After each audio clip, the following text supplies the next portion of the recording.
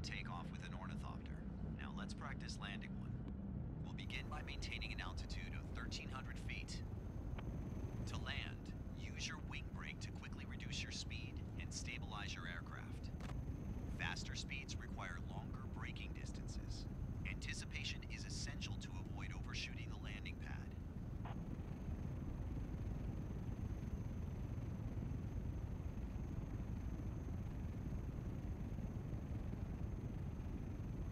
Now deploy the landing gear. On my mark, use your wing brake to reduce speed as you approach the landing pad. If your speed is too high, pitch the nose up to come to a complete stop. Finally, to ensure a smooth landing, return to a